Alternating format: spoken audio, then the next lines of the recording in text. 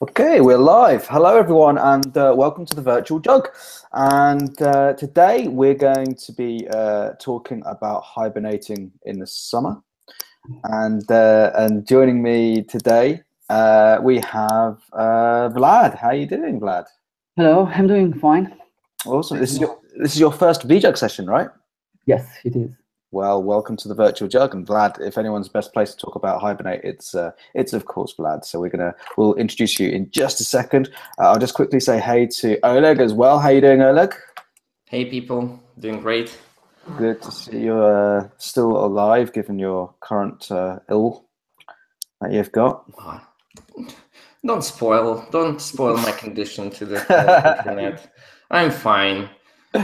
Uh, I'm actually doing pretty great. Remember the survey that we ran? I Mm-hmm. peeked at the responses, uh, Mhm. the Rebel Labs developer productivity survey about why do you use the tools you use, Yeah. and I'm super excited about the results. It just it sh- the report will show some trends, and the data looks interesting. We're just trying to finalize that with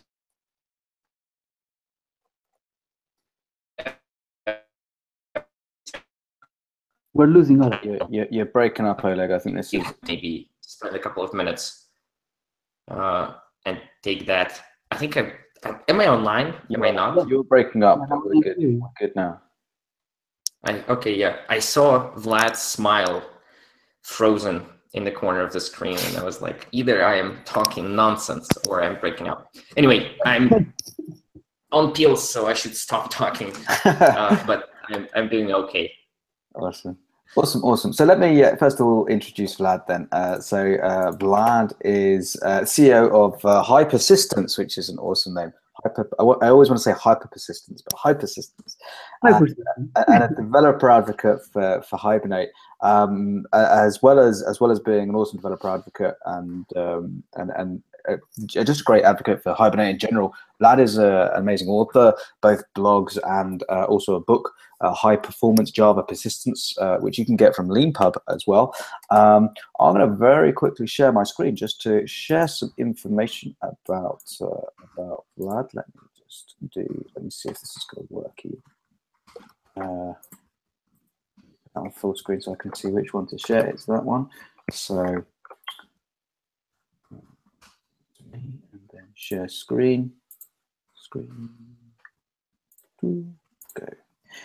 Okay, so uh, we're going to be talking today about the session is going to be called High Performance Hibernate, and uh, our speaker, as I mentioned, is Vlad. You can follow Vlad on Twitter at Vlad uh, Mihalsia. Is that, is Yeah, that that's very that's very difficult. Uh, it's Mihalcha. The hell chat. Oh well, I was I was close. Um, I'm used. People are used to listening to me bastardize names all over the place, so I, they're, they're used to that. No, no problem. So yeah, follow Vlad on Twitter, um, and uh, Vlad is very very active on Twitter. Uh, the virtual jug is sponsored by Zero Turnaround, so feel free to uh, go to zeroturnaround.com uh, to look at some of the developer tooling that's available through there. Uh, if you wanted to interact with uh, Vlad or anyone else on the on the VJug, you can do so via IRC. Uh, Pound Virtual Jug is the channel uh, on Freenode. Uh, you can access that through the widget on the Virtual Jug website next to the video.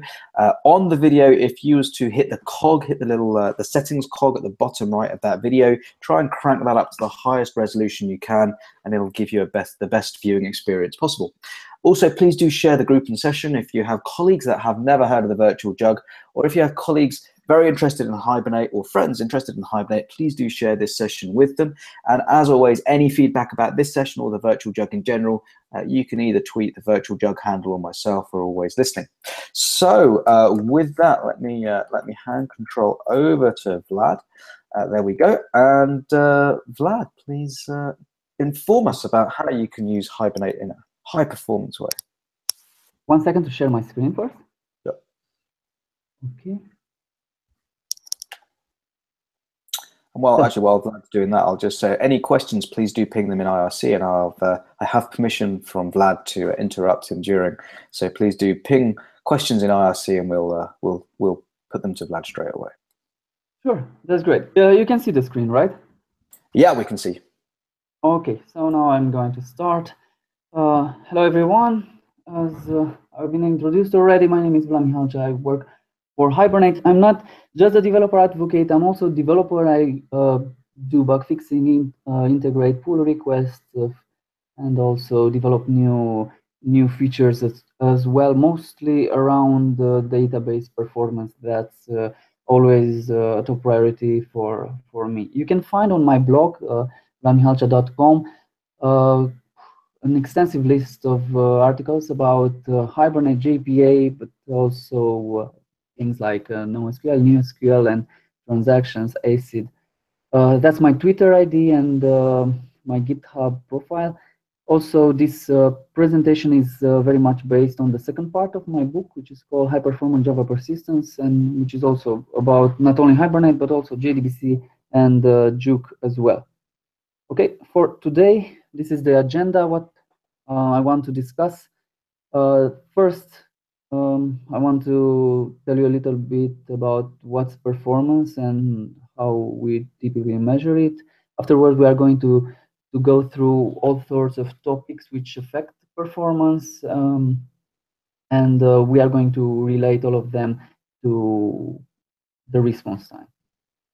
Um, first, the thing that um, um, we need to we need to discuss is that uh, most application like application dynamics uh, has uh, realized application dynamic um, is a tool which you can um, monitor application performance.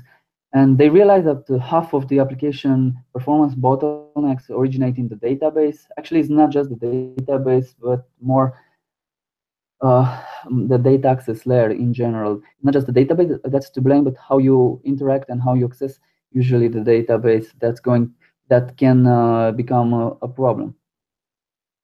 Now, why do you want to have performance uh, besides uh, having uh, a better user experience for your application? Uh, there are also things that uh, are not so apparent, like, for instance, Google Google is going to take into consideration the site speed when it when it builds the rank for for various websites. So if you are on a field, if you have a startup and you have competition, usually want to to be you usually want your site to be faster than your competitor, so that your uh, your site is going to to be the first when people are going to search for whatever uh, is the field that you are operating uh, in.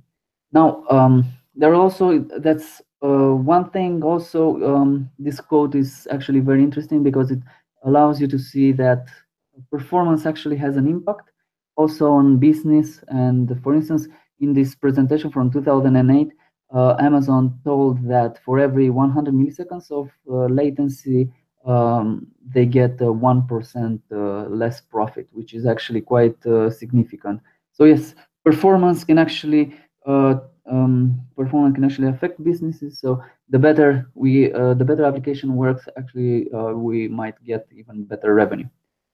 So now, uh, because we're talking about uh, data and data access layer, uh, everything revolves around transactions, and we can typically uh, measure response time uh, in various parts of our application. We can measure it at the browser level, at the web level, uh, web layer level.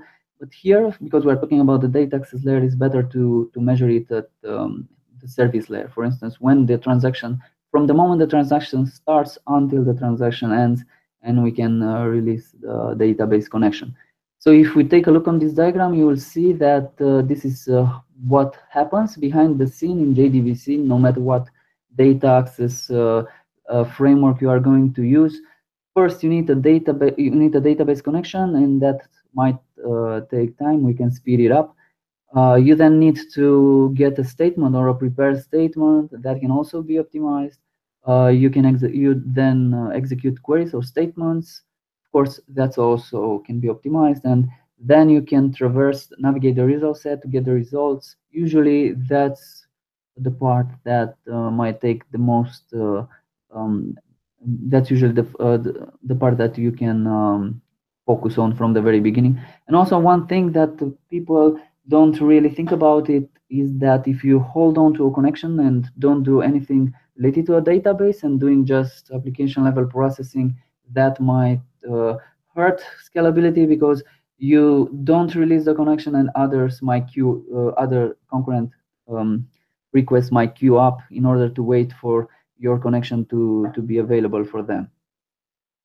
Okay, so if uh, based on that diagram, we can conclude that the response time at the transaction uh, layer is built up of various segments like the connection acquisition time, the time it takes to send all the statements to the database, then uh, the database has to execute them, and then the result set needs to be uh, marshaled from the database to the client, and you also get that idle time that I mentioned. So we are going to discuss and see how we can optimize all of them. Now, uh, the connection is the first thing that uh, we can focus on. And if you take a look here, you'll see um, four different database systems, which if we measure how much time it takes to acquire physical connection, typically if you want to acquire physical connection, you just have to use the driver, which always gives you um, connection to the database. It opens a socket, it establishes the TCP connection, and that takes time. And for instance, if you take the 99 percentile, you can see that it takes between 20, 10, 20 milliseconds, uh, for some databases, even 50 milliseconds, and that's quite quite a lot because uh, if, for instance, it, if it takes you 50 milliseconds to, to acquire a connection, that means that at most you can have 20 transactions per second per, per connection, which is actually quite low. And for that, I, I haven't even included uh, the query execution time and uh, the fetching time. So um, on the other hand, if you are going to use a connection pool like Hikari, you can see that the time it takes to acquire a connection drops to 10 microseconds. So it's quite a significant improvement. And that's one thing that we're using, that's why we're using connection pool, is because we want to speed up the connection acquisition. And another advantage we get is that we can level up traffic spikes because we introduce a queue there. So we are not pushing all the traffic to the database, therefore buying us uh, a little bit of time. And if if you have a traffic spike, that's going to affect a service, but it's not going to affect the whole system.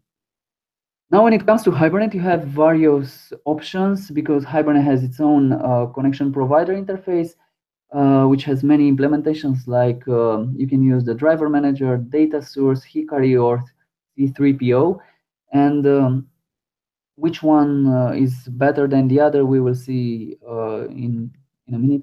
Um, although the C3P0 and Hikari are quite nice, uh, the driver manager just uh, was meant only for testing, so that Hibernate core depends uh, only on Hibernate related and has fewer dependencies. Um, the best one to use is the data source connection provider because it allows it allows you to just um, it, it allows you to chain as many data sources as you want and from the application perspective this is quite transparent because the application only sees the data source and doesn't really need to know what's behind that. So we can have a connection pool. We can also use data source proxy, which is also an open source project, which allows you to, to log uh, statements along with their um, bind uh, parameter values. And also you can use FlexyPool to monitor um, connection acquisition. So usually if you're using, either if you're using a resource local or a JDBC uh, transaction, or if you're using JTA uh, using the data source connection provider, uh, it's usually the best the best choice. Now, we've seen that using a connection pool is the way to go. However, if we have a system, something like that, which has uh, one master and multiple replicas, um, and then you have probably auto-scaling for front-end nodes, you have uh, batch process applications like for importing data, for synchronizing the full text uh, search engine, also one maybe batch processor that uh, send email campaigns. And all of those require connections to the database. And uh, now you have to think uh, how what's the right size to give to a connection pool. And there are two ways you could do it. Either you can think about and try to to do it uh, upfront and try to provision it uh, with some mathematical formula, or you can um, use a proactive uh, um, use a proactive technique and just uh, monitor the application and adjust it uh, adjust it accordingly. However, although there might be some mathematical formulas like Erlang formulas, which work pretty well in telecommunication systems, in reality, computer computer and enterprise application are way way much more complex when it comes to figuring out what would be the right pool size. So that leaves us with the second approach, where, where we can the best way to to know what's the right size for a given application is to just assign a value and then monitor it constantly because even data access patterns change from time to time. So uh, even an initial uh, size might not fit uh, six months from now. For that, uh, I built this project, which is called uh, FlexyPool. It's open source. You can find it on GitHub. It has an Apache v2 license, and it supports uh, the major connection pools you might find in Java, like Hikari, Tomcat, DBCP, uh, also, um, uh, it supports uh, the JTA, um, some JTA standalone connection pools like Bitronix or Atomikos, and it has a generic adapter also for Java EE application servers.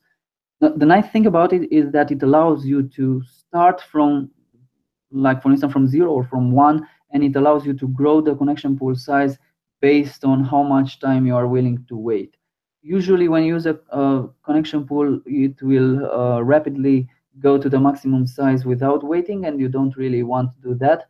Uh, and also, FlexyPool gives you all sorts of uh, metrics, which uh, if you analyze, then uh, you can decide whether the current pool size is the right one or not.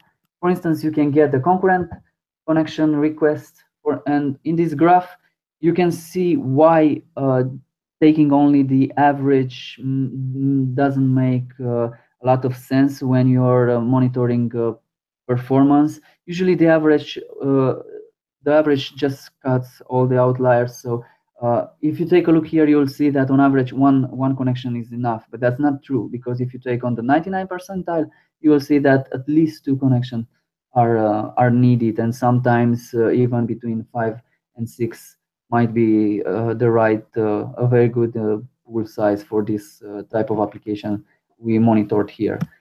Also, how the pool size is growing over time, you can monitor.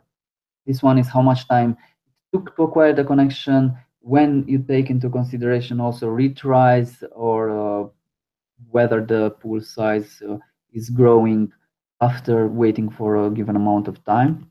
And also this is a, a very nice uh, metric because it gives you how much time a connection was borrowed from the pool. And uh, if you take a look there, you'll see that one transaction uh, the, um, uh, was running for uh, 35 seconds, which is quite a lot. And that surely um, requires some investigation. Now, that was about monitoring connection. Another thing that you might want to do is to um, try to allay, uh, delay the connection acquisition as much as possible because if you reduce the transaction uh, response time, you can execute a, uh, more transaction in a unit of time. Now, if you're using, based on what type of transaction you're using, either resource local or JTA, uh, you might the transaction might be acquired either immediately or as needed. Now, the reason why for uh, for resource local uh, connection uh, transactions, uh, the, con the connection is fetched right away is because Hibernate needs to get the auto commit mode and probably set it if it's set to true, which is usually the default for JDBC. However, if you're using Hikari or any other connection pool and you know for sure that uh, you set the auto commit mode, uh, the connection pool size, you don't really need to do that again in Hibernate. And that that's going to help you a lot. For instance if you having if you're having a service method something like that which does uh, reads an XML, XML document also it parses it and then it uh, persists the the entities uh, being read from from that document so in this case if the transaction transaction is fetched right away uh, you are going to uh, hold on to that connection even during the read and the parsing which that actually makes no sense because you you acquire the connection way before actually really need it, uh, needing it. In this case, even the persist might not need it, and we can actually delay it until the transaction is needed to be um, commit it, and then we need to uh, flush the persistence context. So in this case, we introduce in Hibernate 5.2.10 this property, which uh, tells Hibernate that you already disable the auto commit mode. So it skips that check. So you can delay the connection acquisition until you really need to execute a statement or you need to flush the persistence context. And there are some pending actions. And as you can see here, the difference uh, can be quite significant. The more you have to wait and the more processing you have to do upfront, uh, that's going to, to be the gap between immediately and as needed. Good, so that was about uh, connections. Now, one thing you can uh, optimize right from the start is choosing the right identifier generators. Um, in JPA, you can have identity sequence or table auto is just going to pick one or the other. Uh, identity, um, if you are using identity, uh, the only problem is that it's going to disable the JDBC batch inserts. Uh, that's not something that uh, uh, is wrong in the database. It's just how Hibernate schedules entities. So it needs to have the entity uh, identifier known so that it can store it in the first level cache. And because of that, for identity, uh, the only way to know the identifier is if you execute a statement. Therefore, when the flush comes, the inserts were already generated, so uh, you don't have the chance to execute this, uh, the inserts in a batch. For MySQL, you don't really have any choice. That's the only choice uh, you have. For MariaDB, which uh, uh, emerged as a fork of MySQL, now in um, 10.3, they are going to introduce uh, support for sequences. Um, however, only uh, as, at the moment of uh, speaking now, 10.2 is um, um, is an actual release. 10.3 is just um, in beta, I guess. For sequence, if the database, uh, if your database supports sequences, uh, this is a much better fit for Hibernate and uh, Nowadays, even SQL Server um, supports sequences beside Oracle and Postgres, which uh, uh, have been supported for quite a lot, um, for, for quite a long time. Uh, because uh, for a sequence, you need to go with an extra round trip to the database to know the sequence. You can actually optimize that with various optimizers offered by Hibernate, which are not standardized in order to, uh, if you're using an old Hibernate version, like for instance, three or four, you might uh, you might want to activate with the following property. Uh, otherwise, for Hibernate 5, this property is um, set by default. Now, of course, if you're inserting 50 rows and you want to generate uh, and you generate 50 database round trips, that's going to take more than if you try to reduce that uh, to uh, 10, 5, or even one uh, database round trip. So that's the goal of using the optimizers. Just reducing the number of round trips you need in order to generate the sequence values. Uh, you also have this table identifier generator, which looks good on paper, but in reality, when you think about how database systems work, you'll realize that uh, it's not very practical because it uses row level locks, and it also requires a separate connection in order to generate the to emulate the sequence value. And um, although it also uh, it also uses uh, these optimizers, we will see that um, this uh, table identifier generator is not very uh, useful in reality. Um, of course, if you take a look, if you use the optimizer, that's going to you are going to see um, an improvement. However, on the on the vertical scale, you can see that uh, previously we used to have milliseconds. Now we have um, now we have 1.5 or 2 milliseconds, and previously we used to have like 0.1 milliseconds.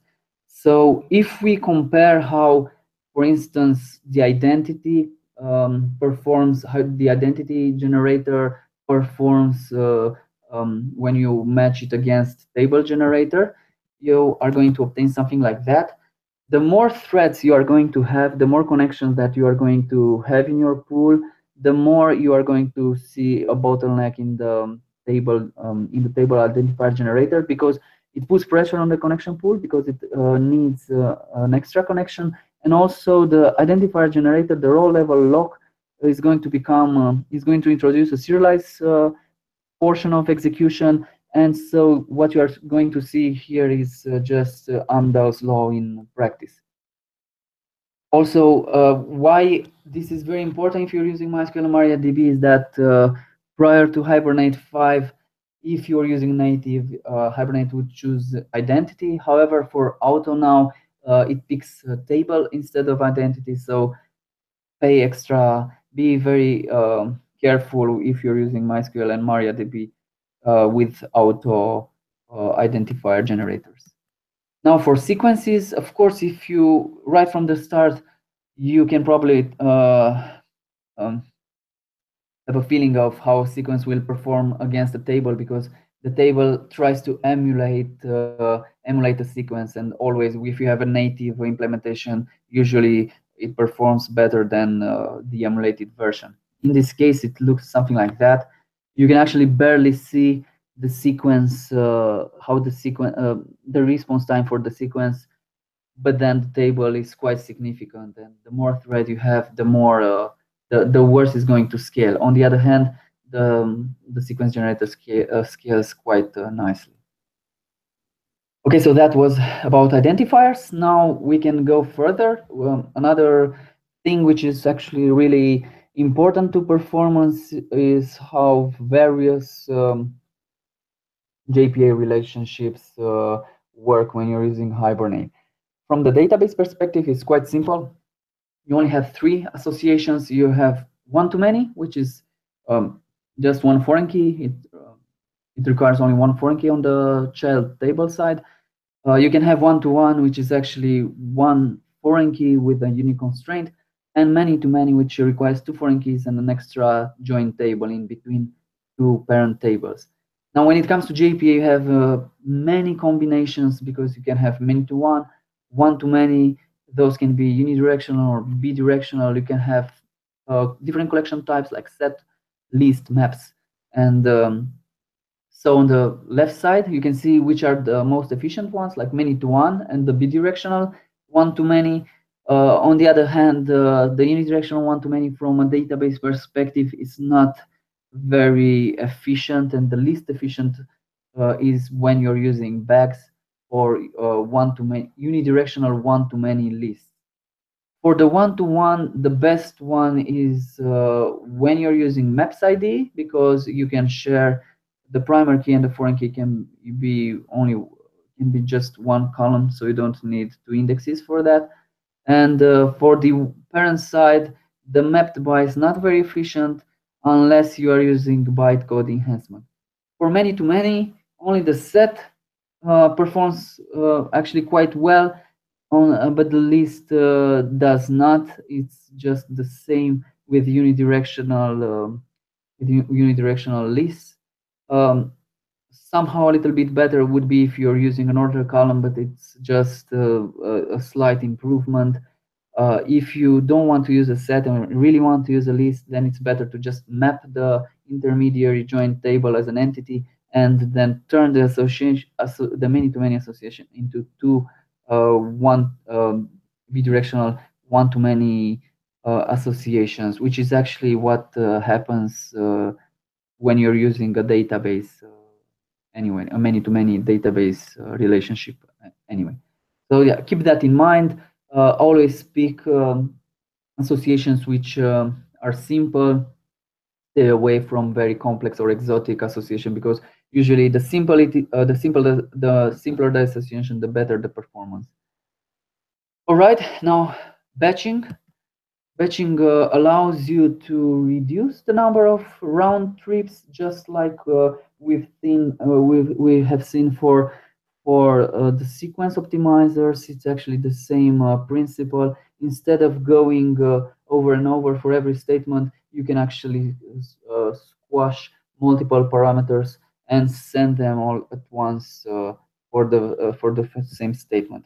Now Hibernate, unlike other JDBC, uh, unlike other unlike plain JDBC or other frameworks which don't have an automatic statement generator, uh, Hibernate allows you to switch from non-batching to batching with just uh, uh, some configuration. You don't need to rewrite your application.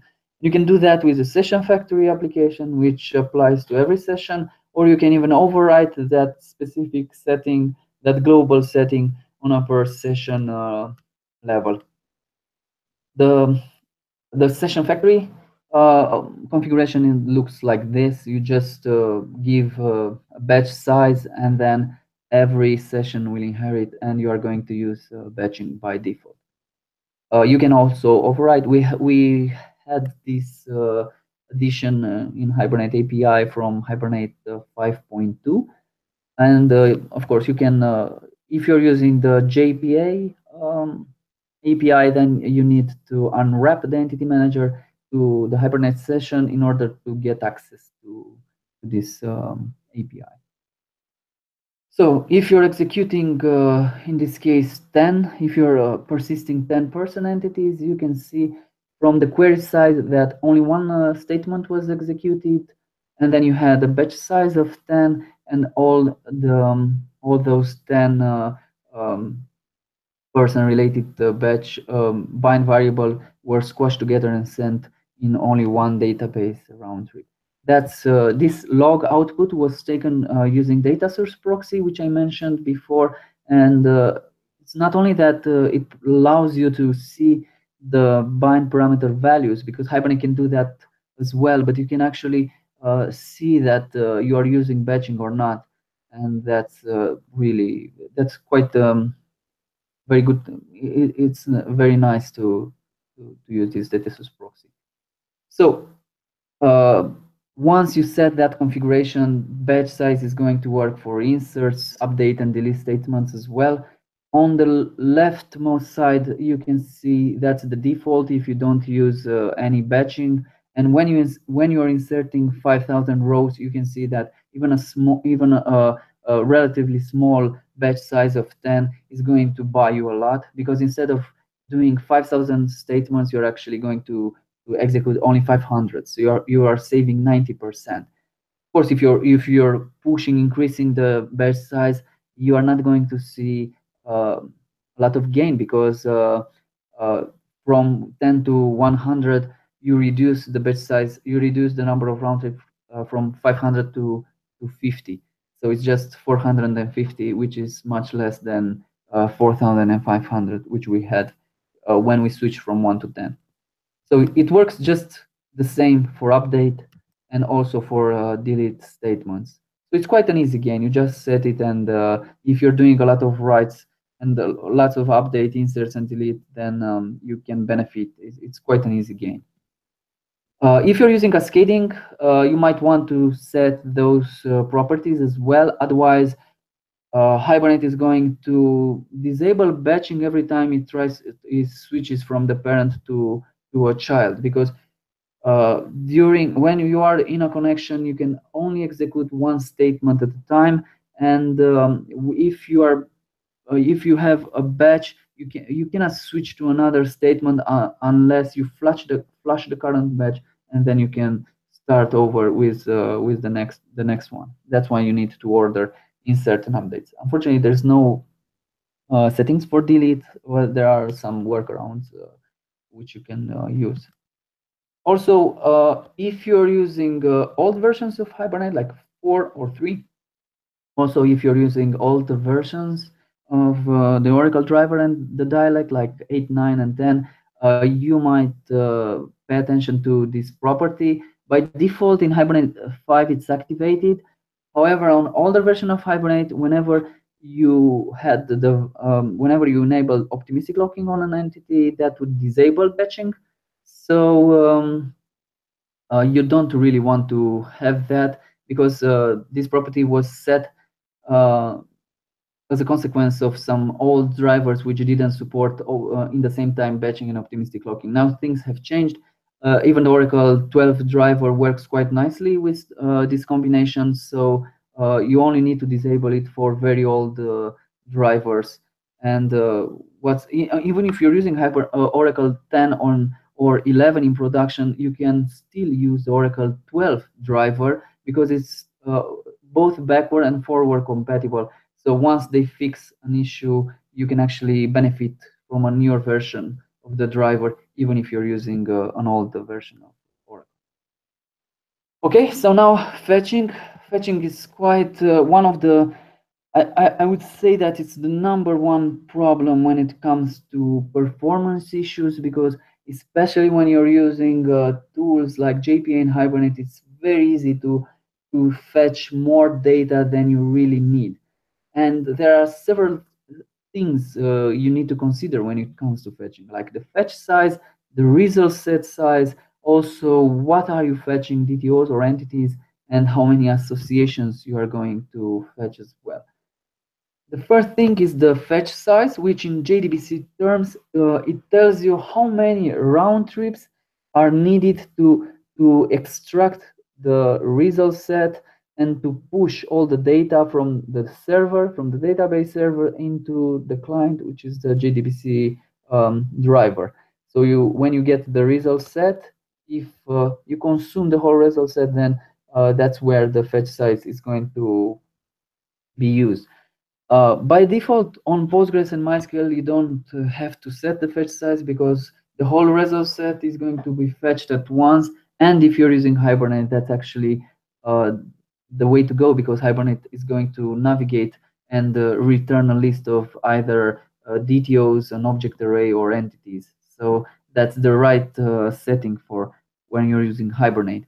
And for SQL Server, it's the same. It uses some adaptive buffering, so you don't really need to, to change or provide a specific fetch size. The only database where you might want to set this is Oracle, because in Oracle, the default fetch size is just 10. So if you, even if you're selecting 100, uh, if you have a result set of 100 entries, that would require 10 round trips. And uh, you, you, you might want to speed that up. And uh, for, for this purpose, Hibernate offers this configuration property, which once you set it is going to uh, be applied to every session, so you don't uh, you don't have to worry about it anymore. And you can even um, override the global uh, setting using this uh, JPA query hint if you want. Okay, so if you look at this graph, uh, it tells you what the um, how much it how much time it takes to uh, materialize a result set to to uh, to grab all the data in the client side result set when you vary the the fetch size from one to 10,000 and you can see if you put uh, just if you're using a of one that would require 10,000 round trips and that takes a lot of time and even between 10 and 100 you can see quite a significant gain so that's where for instance uh, that's uh, why you might want to, increase that value if you're using, uh, for instance, Oracle. Now, uh, the number of round trips uh, might be a problem, but usually you don't really want to have 10,000 results set. Usually want to, to use uh, much uh, a limited result set and you don't want, uh, you want to use pagination because otherwise, think about it, if you're selecting 10,000 results, you cannot even display them on on the on a browser or for a mobile client if you're not even using Wi-Fi, maybe you are using the the GPS uh, data packet connection. So in that case, actually, it's going to cost you more money to to uh, uh, to fetch more data from uh, from from a server. So you don't want to do that.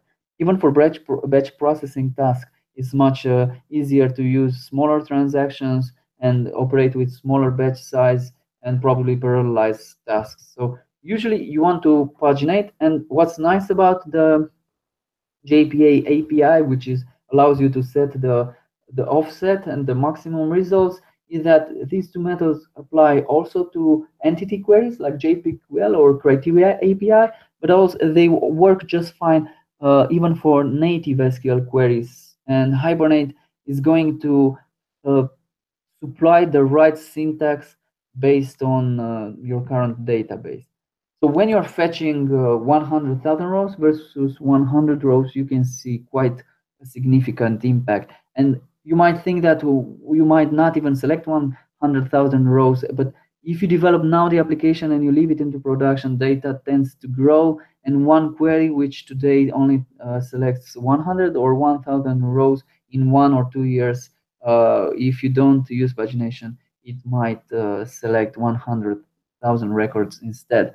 And uh, uh, you want to get this right right from the very beginning because otherwise the performance the application will degrade with uh, once the data keeps on while the data keeps on increasing. So yes, uh, when it comes to pagination, you can use those JPA. You can use the JPA API. Um, the only caveat is that um, it uses the standard offset pagination, which is defined by the SQL standard, and that only scales if you have a if you have a reasonable a resource set size, or if you scan over a reasonable reasonable um, uh, data set. If you want, if you need to scan like large resources, like millions of records, then you should use uh, keyset pagination because uh, otherwise if you're using offset it just uh, um, traverses for instance an index and then uh, scans the data and then just discards it and that will take uh, quite quite some time. You can use this uh, uh, this reference on use the index Luke which is Markus Winand's site. He also wrote sql performance explained and there he he tells you more about why keyset pagination is much better fit if you have a very large uh, result set or if you really want to um, uh, secure the order of pay of uh, the pages that you read because otherwise if you insert in the middle the pages uh, might shift in case of offset. Okay so that was about uh, the size the number of rows. You can reduce not just the rows you can also reduce the result set uh, when it comes to the number of columns. And uh, the difference between the first query, which selects all the column, uh, not only the columns from the post comment, but also all the comments from all the join tables here, like post or post details. So if we have like five columns in post, uh, five in post, and uh, five in post details, in reality are going to select 15. And uh, the difference between the first one and one DTO projection, which only selects the columns that you really need, uh, can be visualized in this graph or uh, you can see it's quite it takes quite a lot of time to fetch more data and a, a great benefit of um, using DTO projection is that if you have very very large result set and uh, very specific queries you might uh, use covering uh, indexes and then you don't even need to scan data pages anymore because you can uh, return the whole result set and uh, satisfy the query just with the index data alone. Okay, so the DTO projections are very good for read-only views when you want to read data and uh, you don't really need to modify it. Like for instance, when you want to display trees, tables, or graphs, or doing analytics, building reports, that's that's when you need to use DTO projection. And you can do that both with JPQL and entity queries or with uh, native SQL queries. On the other hand, entities are needed. You only need to use JPQL and fetch entities if you plan on modifying those entities either in that transaction or a subsequent one in case you're using Webflows.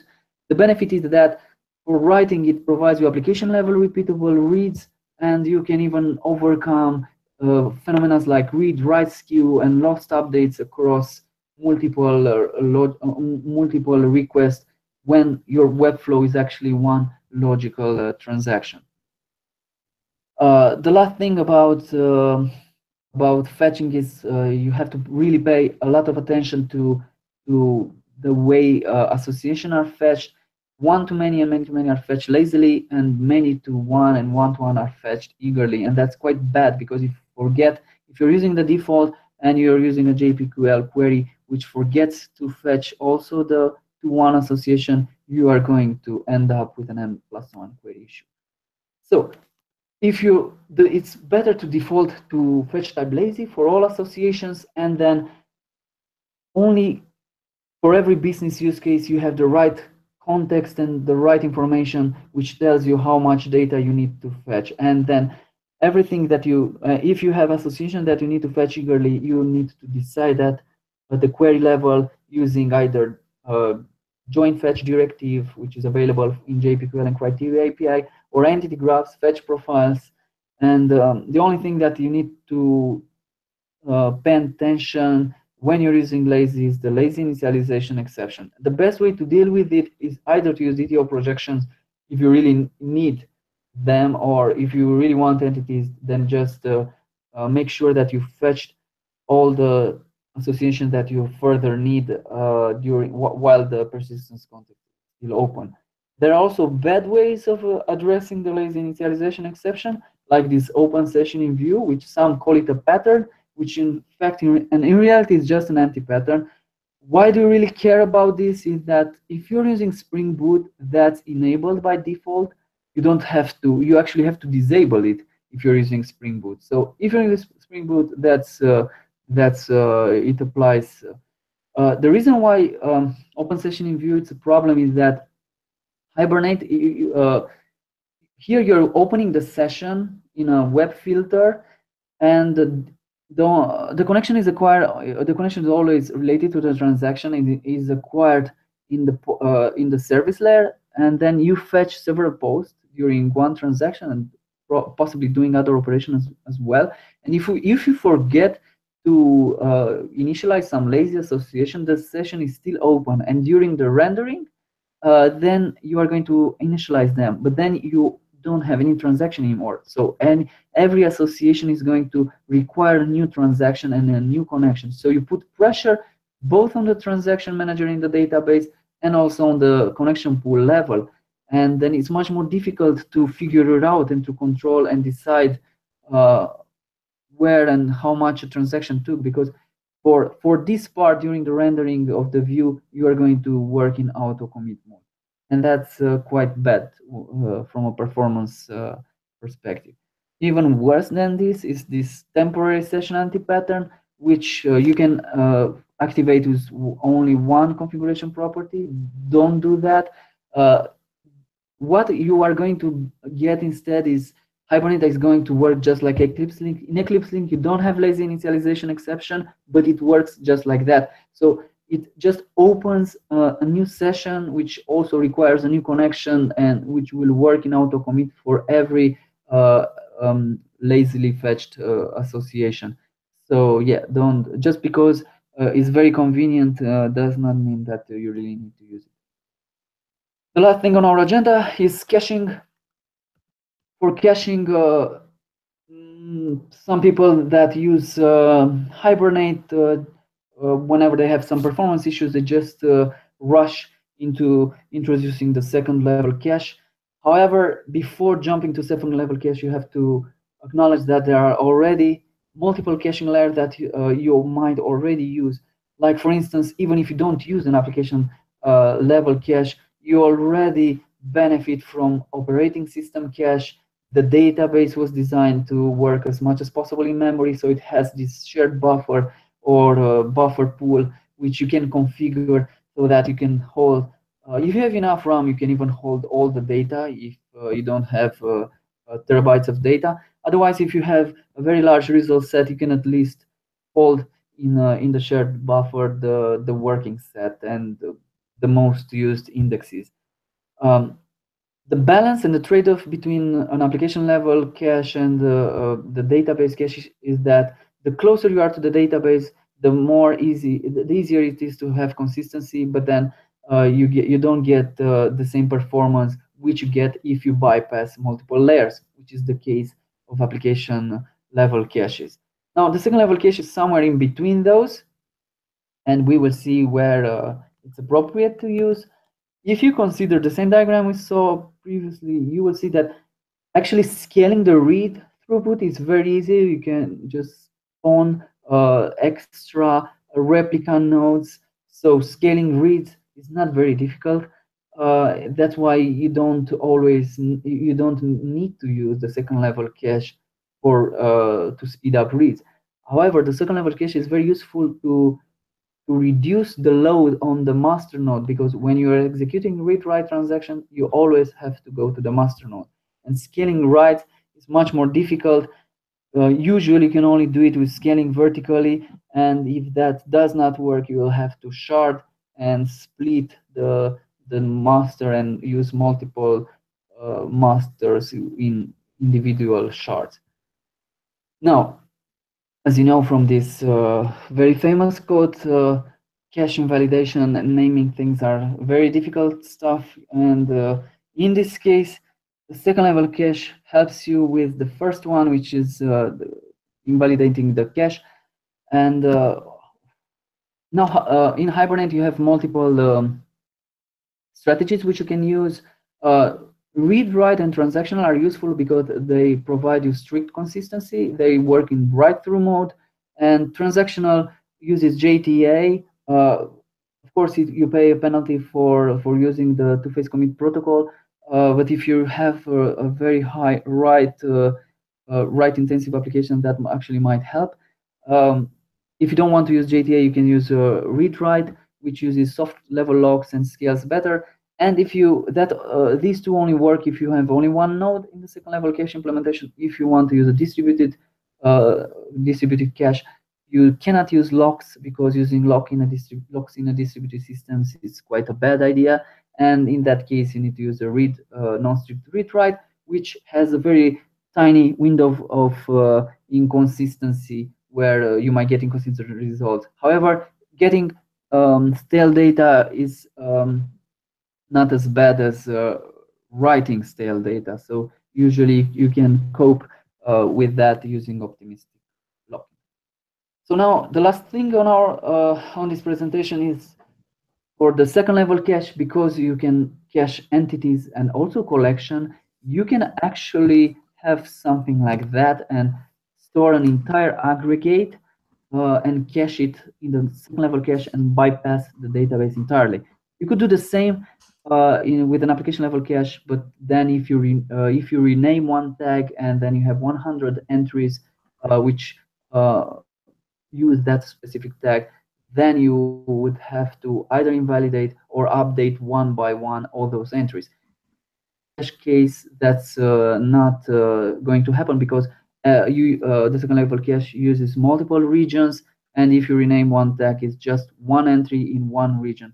So it uh, for the writing part, it scales better. It scales the writes better because it uh, it distributes uh, the individual writes across multiple regions, and you can actually fetch the whole aggregate without going to the data. And that's all I've had to present to you. We've discussed all of those. If you want more, you can find, uh, of course, in my book. Uh, they are very well detailed, and there are also things about JDBC and um, and jOOQ, which uh, when you use them together, you can actually resolve most of the problems that you might have uh, when you want to speed up an enterprise. So awesome. Thank you very much. Thank you very much. And uh, I very much recommend following Vlad and Lukas on Twitter for some uh, some extremely yeah. interesting and funny uh, discussions as well. A um, couple of questions in from, uh, sorry, Vlad, were you going to respond? Uh, yeah, I want to say that that following Vlad and Lukas is a good combo. yeah, it is a good combo. It's uh, definitely well worth entertainment factor. Um, okay, so we have a couple of questions in. Uh, we have a question from uh, Oleg. Actually, Oleg actually asked a very leading question, which uh, about about monitoring, which we can ask maybe a little bit later. But I'll ask some other reasonable ones first. Um, first one was uh, about whether your slides will be available after. Presumably, if you have these up already, I, we can send them around uh, to, sure. to the list. Sure, I can send them to you, and then you can broadcast them I, either way you want. We can store them on SlideShare, or if you want, you can or you can store them on uh, on a virtual JUG site if you have uh, so if you if you if you put them on SlideShare and then we can share that URL around, that'd be perfect. Yeah, yeah I'm going to give you a link uh, to to. Excellent. Actually, you can already find them there, but I'm going to send you the link. Perfect, thank you. Uh, another one from uh, Krista Panoa. Uh, are there any performance strategies specific to embedded databases? For yes, for embedded databases, probably you might want to store everything uh, to make sure that all the data fits in memory so that you bypass the the the disk as much as possible. Because usually that's what that's usually the bottleneck when you have lots of data and also concurrency. It's going to be it's going to be the disk. If you have increased concurrency of course you don't have many options, but uh, but using multiple uh, cores and making sure that your embedded database was designed in such a way to benefit from that. Because if I remember correctly, like for instance, when it, it was the case for for for for MySQL, all versions of MySQL like MySQL 5.1, uh, which could not benefit from more than 24 CPUs. And so yeah, you have to think about that. Even uh, even the database needs to be designed in such a way to benefit from from uh, providing uh, more power to it. But usually, yeah, yeah, that's what uh, you can do. Awesome. Uh, another question from uh, Zishan. Uh, how do you set the fetch size for big lazy collections? Uh, setting the fetch size, yeah, using uh, using lazy collection. That's very uh, very bad idea. You don't want to do that. Actually, that's um, when, whenever I see that, it's a code smell that something goes wrong there because uh, you know we call it one to many uh, the association, but that's bad because usually you what you want to you only want to use it for one to few child. If you have like one million records, you don't want to, you don't really want to use a, a, a collection and you don't really need to use a collection because uh, if you think about how databases work, you only have the foreign key and then you execute a query and during at the query time, you, you limit it. So that's exactly what you need to do. You just remove the collection entirely and you just use queries instead. And you have the association because you have the many to one side just uh, it was one one post which was written like 11 years ago by by uh, the co-author of uh, Java Perform uh, Java Persistence with uh, with Hibernate, uh, Christian Bauer, and he said just because you have collection, you don't really you don't necessarily have to use them for every task. Sometimes a query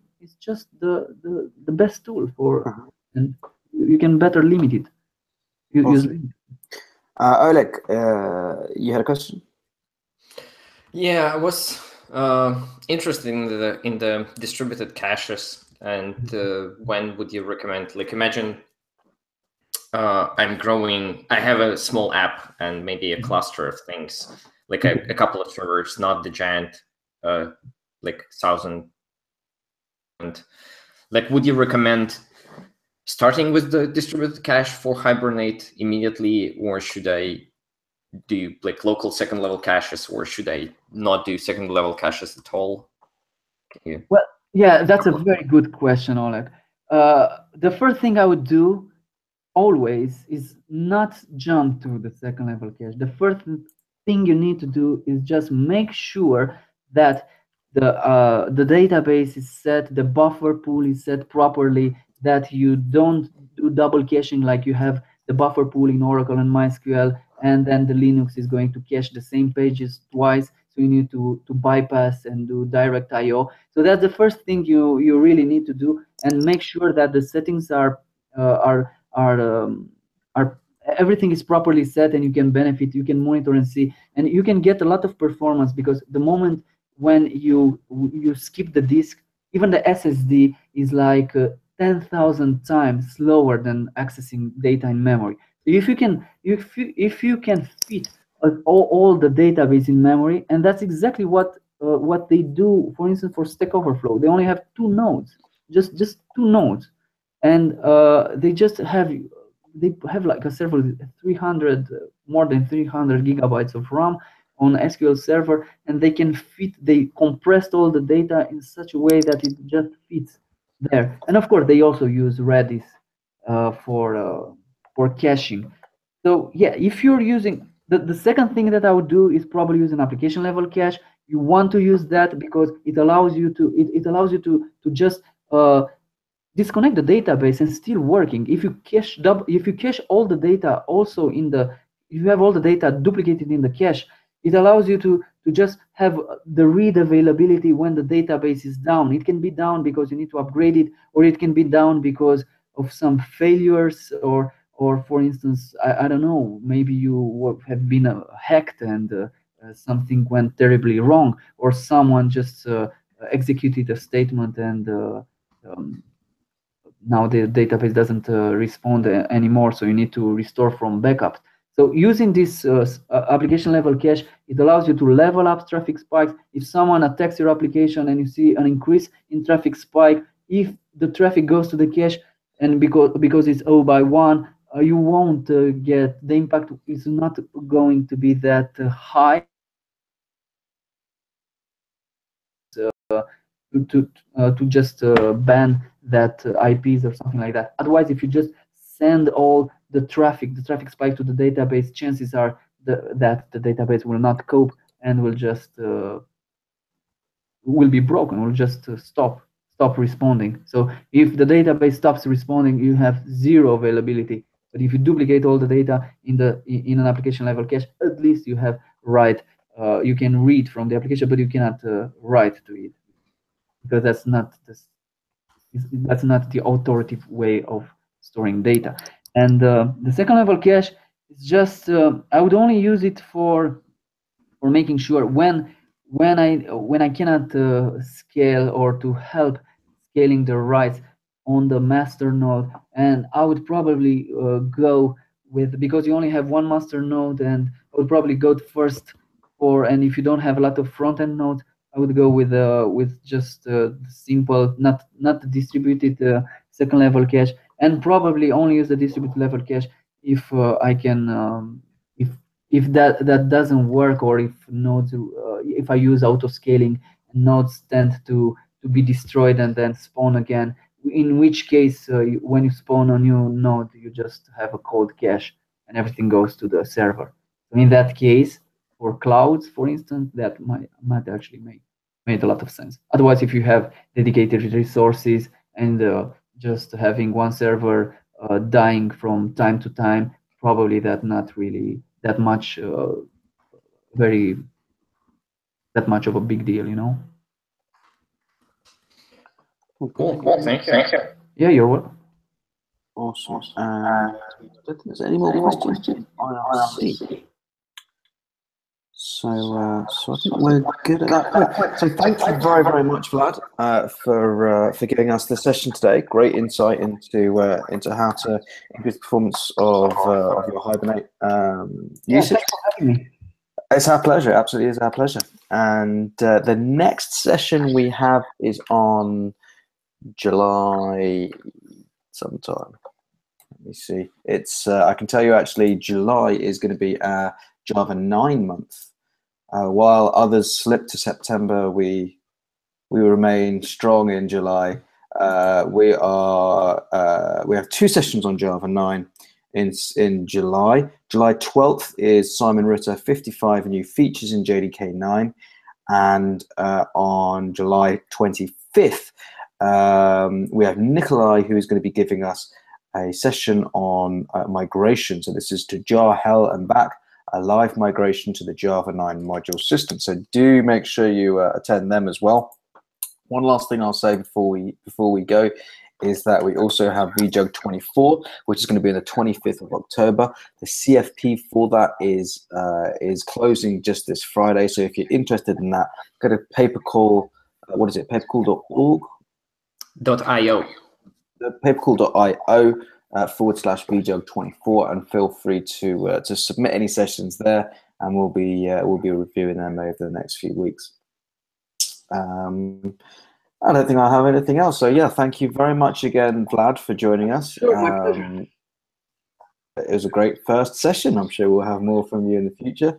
yeah Uh, I hope you feel better soon. Oh, actually, one one one thing we can announce is we asked I asked uh, Josh Bloch on Twitter just recently to see if he would give us another session on um, effective Java, which he's actually going to be releasing. What is it, edition three now?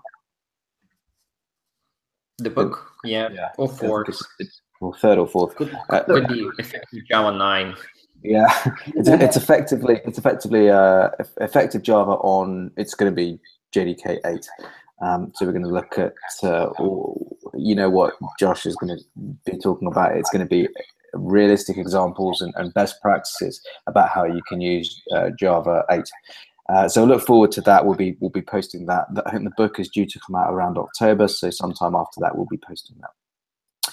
Uh, so thanks, Vlad. Thanks, Oleg. Uh, thanks everyone for attending, and uh, see you all next time. Okay, thank you very much bye Bye.